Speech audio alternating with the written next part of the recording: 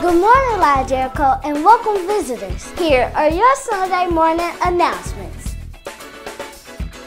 Wow, we have a great church.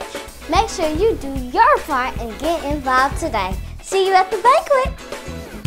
I belong to you. You belong to me.